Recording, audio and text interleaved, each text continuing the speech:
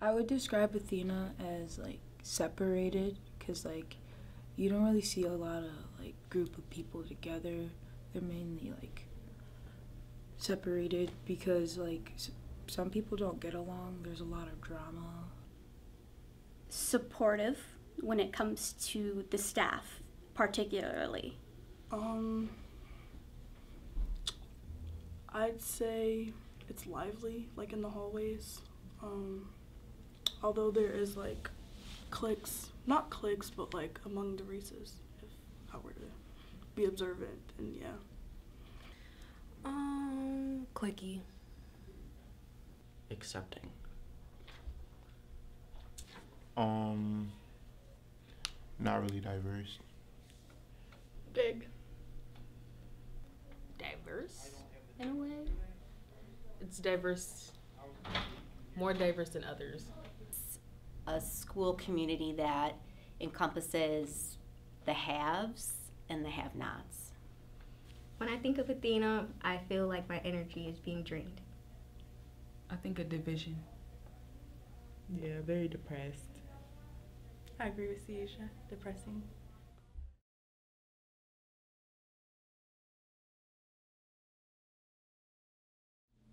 Um, I first noticed my race when I was 14 and I was in ninth grade because, like, I first entered high school.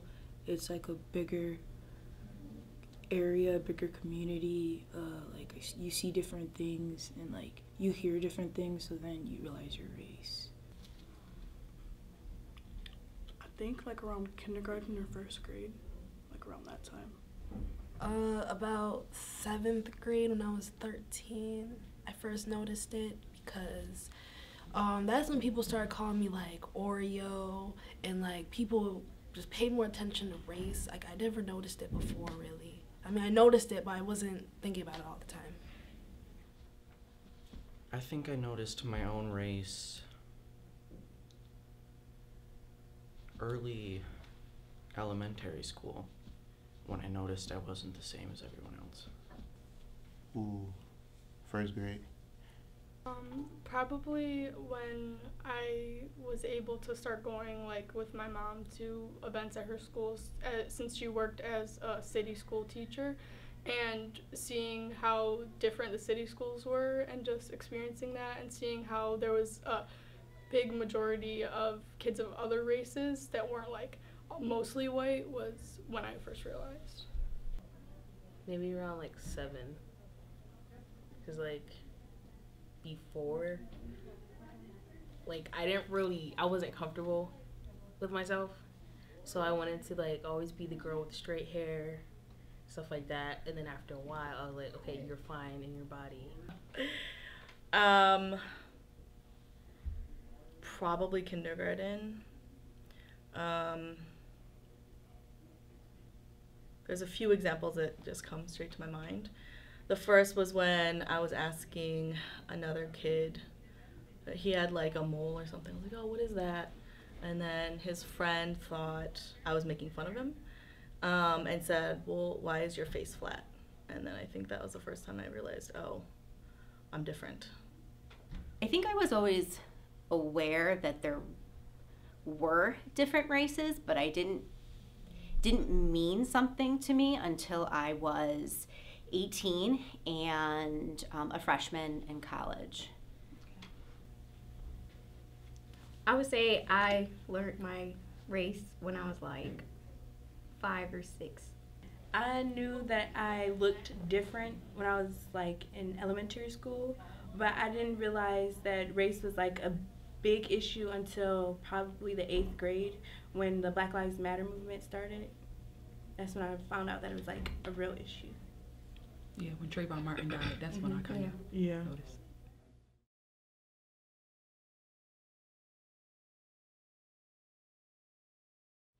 I see it mainly when like other races discriminate other races.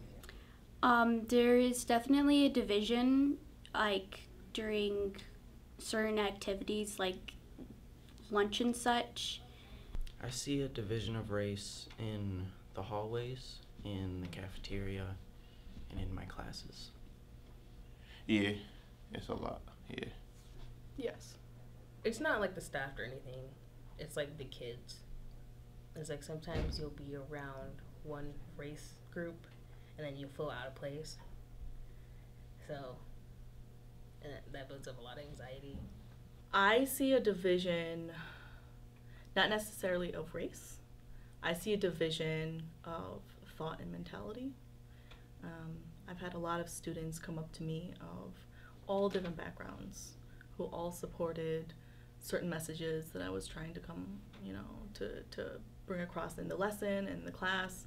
And so for me, it was never about um, these specific kids are the only ones that come talk to me or feel comfortable with me. It was definitely about mentality, I think. I do see a division of race in our school. While in the classroom, I see a lot of my students interacting with one another in an academic sense. When it comes to the social aspect of school, I see that um, interaction kind of uh, dissipate, and I see groups of certain races um, connecting more with one another.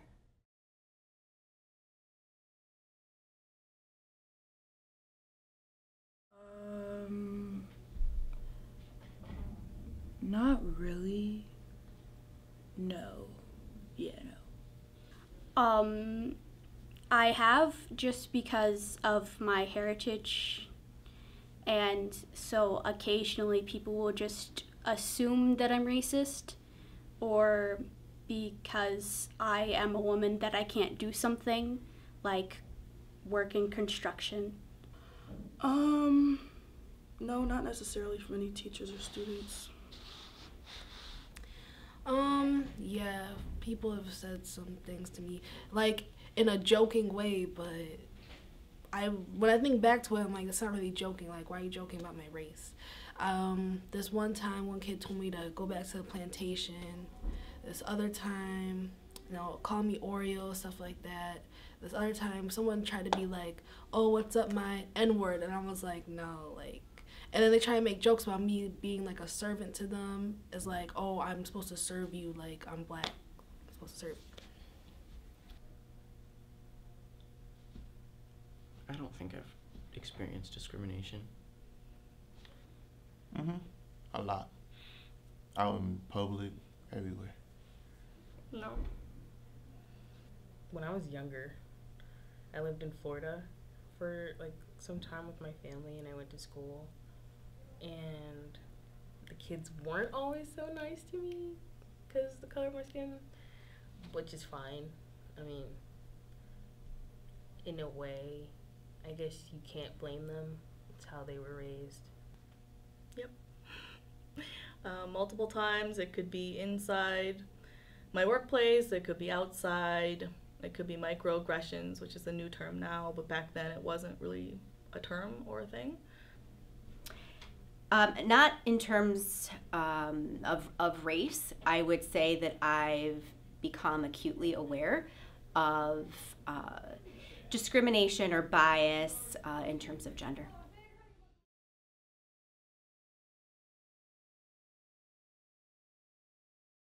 I don't think it's appropriate at all unless it's like another uh, African American greeting another African American.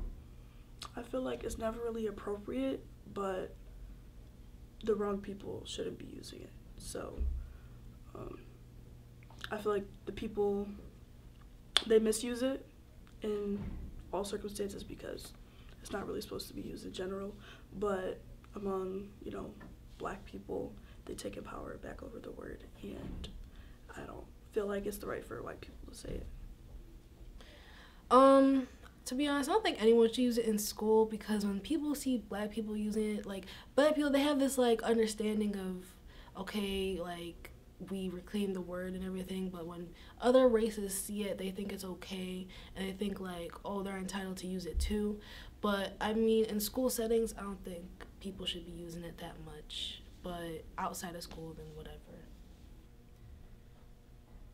For me, as a white male, I never think it's okay to say the N word. Okay. My point of view on using the N word, so like I play around with it, and like I let my friends play around with it, but like I don't really take it to the heart unless like I could tell when you mean it and when you don't mean it. Like if we playing around, I don't care, but like if you really mean it, I'm gonna take offense to it. I don't think that's up for me to.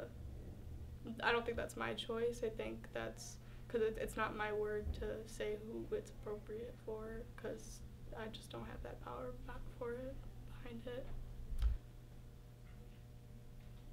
Technically, never. But at the same time, I'm not like. I don't care as much. It depends on how you say it, really. But like, I don't care anymore because we're in a new generation, new year. So. Uh, for me, it is never appropriate. For uh, i i in my opinion, and I've listened to various people who, who, have thoughts on it.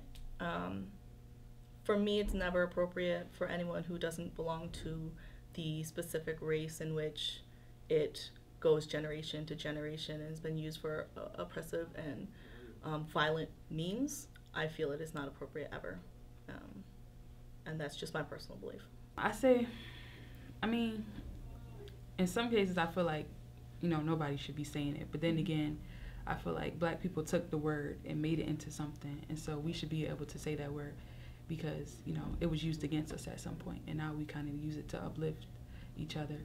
And I just feel like, you know, no other race or nationality should be saying it because, you know, that word meant a lot and it has a lot of deep things under that word. So you never know, like when somebody's saying the word, you never know what they're meaning behind it, even if they're just like greeting you or something. Right. Mm-hmm. Yeah. I feel the same way, and I could speak from two perspectives because, like, I'm half Puerto Rican, I'm half black, and my family, like, my Hispanic side, they were raised around like a lot of black people. Like we were very um, mixed together, but even then they knew like the respect of not saying it because it wasn't it's not their word to say. And even so they wouldn't say it without like that confirmation of uh, someone telling them they could say it but other they won't say it. So i feel like it shouldn't be said unless you're black like not the harsh er word mm-hmm. but like if we greeting each other or if we talking it is our word and we took back that power after being like put through a lot. put yeah, yeah oppressed and everything. Yeah, just like how they'd be like, well, if it's in the song, can we say it? Well, actually, the people that make the songs, we're actually relating to it. I'm pretty sure they're not relating to it. So like, we can say it. Y'all, can, y'all have no relation to what the true meaning is behind mm-hmm. the words of these songs. So it's like, no, you can't say it. Just if you skip, like you skip over regular curse words. Mm-hmm. Yeah. When you sing it in the car with your parents, so you can you skip over yeah. that word.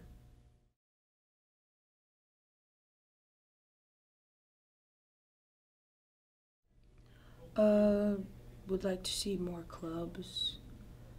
Um, more like yeah, just like more after school stuff, clubs before school stuff, little groups could get together.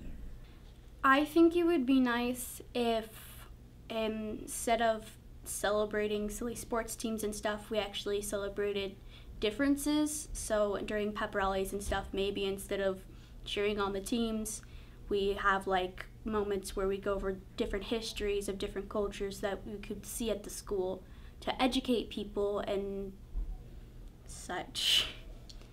Um, I'd say more inclusiveness, like in the classrooms, and especially like the accelerated classrooms or like the AP classes. Um, maybe more clubs that like, well, it could include everybody, or more events that like that target different groups of people to come together with things that they're interested in, and so everyone can kind of like get to talk to each other and know each other better.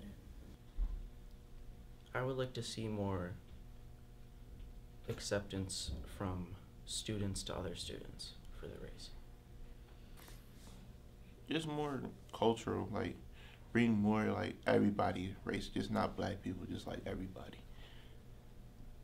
Um, I would like to see uh, more students being educated about uh, race and the divide and stuff, because I don't think a lot of them understand, and I think a lot of adults don't understand too. But I think there needs to be a better a better way to educate kids and adults about the issues surrounding race. Just more like, I guess, activities that like. I don't want to say force, but force people to get together and communicate and stuff. Probably more conversation, um, more voices, and a sense of protectiveness for minority students. They need a space in which they feel comfortable, and it's difficult because, yes, it should be about inclusion, but it's also about safety.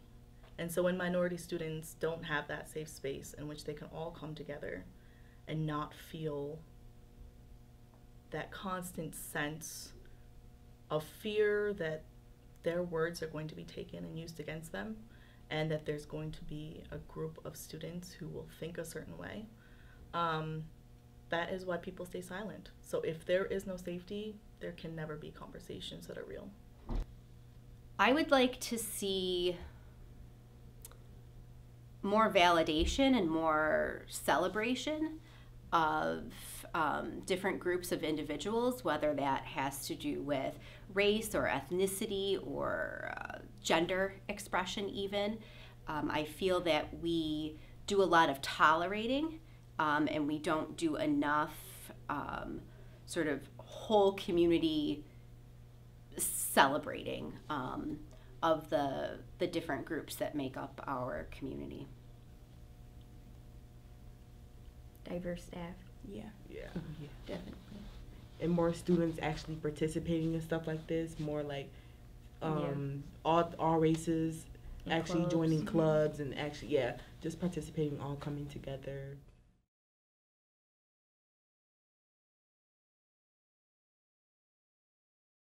The main talk in my house is usually to mind my business and to keep low, not to say too much.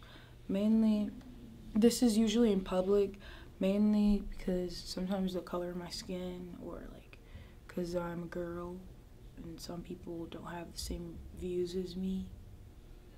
Besides the birds and the bees, uh, a big thing that my mom talks with me quite a lot is about education and getting a good education. That way, I won't have to depend on a man or somebody else like most women have to do, and to just push myself a little bit harder because I do have certain boundaries that I have to break because I am a woman. There was no talk, and I think that that says a lot.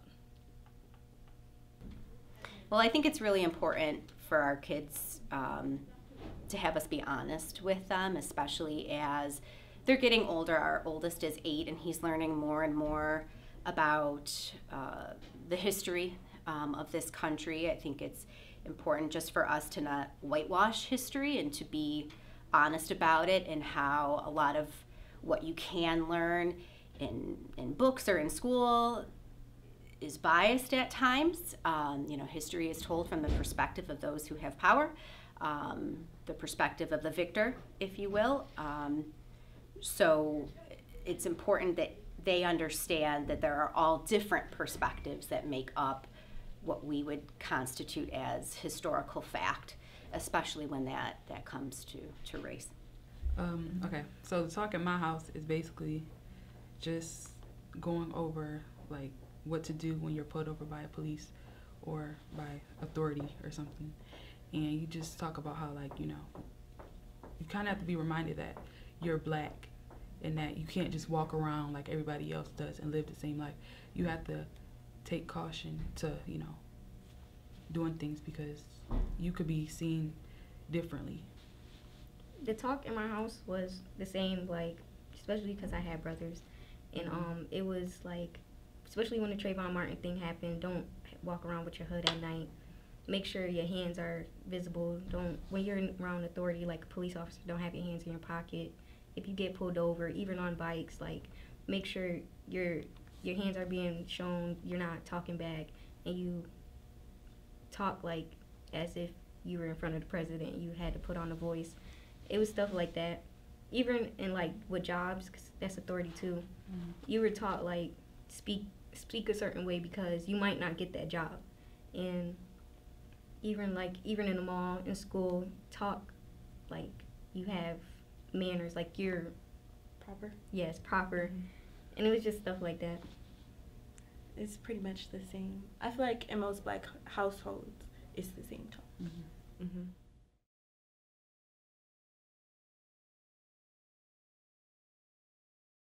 the teacher offering to stay after or like sacrificing different things for a student.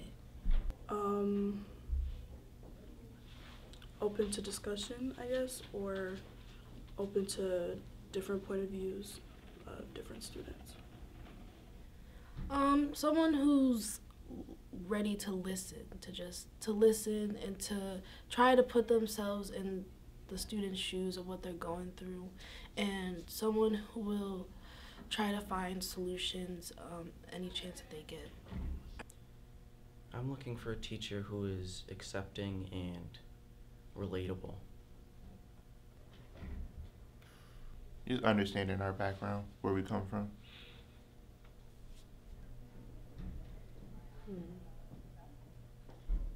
Understanding, sensitive.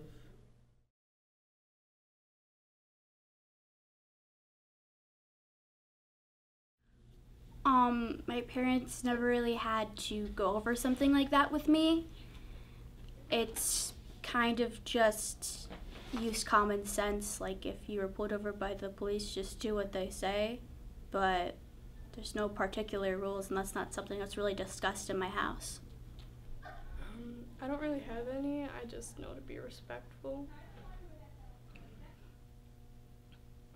For me, I have no rules really, and in fact, I think my, I, I don't quote me on this, but I feel like my dad's like it's okay to cry in front of police and get out of that ticket, um, but and I actually ended up doing that in my very first and only accident, car accident. I was crying so hard that the woman I hit actually felt so bad for me that she convinced the police officer not to give me a ticket, and I had hit her, and so, you know, being a female and being one of the the model minorities, I get to get away with a lot of things, to be honest.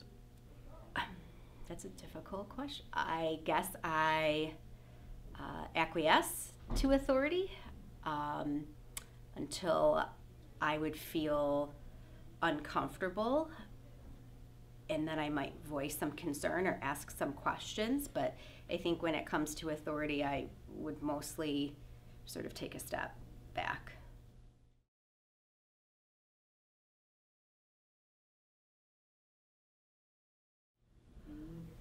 Um, good job. I'd say get out your comfort zone and make new friends, even if you're not really comfortable, and just, you know, take a chance because I made a couple new friends just going up to them. So, yeah, you kind of have to be the one to make the first step most of the time. So, yeah. If you see something, say, talk about it, tell somebody. Like, everyone should feel comfortable here, so we should all include everybody and make everyone feel included and comfortable. I would say I'm thankful for the amount of acceptance that I've gotten. Um, I would say just to keep in mind that everyone has their own lives um, going on behind what you see every day at school, and um, to just remember that and keep in mind just to be nice to everybody. Mm. Be careful of certain things that you say because others might take it the wrong way. It's not just about money. It um care about your students. Actually, take your time out to listen to the student about their background, what they're going through at home, and yeah, basically just getting to know the student a little bit better instead of only seeing what they do inside of school. We're all not the same. Yeah. Oh yeah. That. Be open to getting to know other people. Yeah. Don't be so close minded. Yeah. Um, I would tell them join groups, even if you feel uncomfortable. Start groups. Um, make sure your voice is heard. Never feel like you're being put, even though you are being put down. Like speak out about it. Don't ever just stay in that box because outside of that box, your voice is powerful. I think Athena is a place with great potential. I think that there are a lot of students, faculty, staff with um, open minds who are willing to uh, learn and grow. And I just think that it's important for everybody to understand that the, the type of work that we're engaged in and that we're doing is lifelong work. It's not something that happens in one staff meeting or two. Um, this is something that we sort of all have to deeply commit ourselves to and understand that uh, we're in it for the long haul.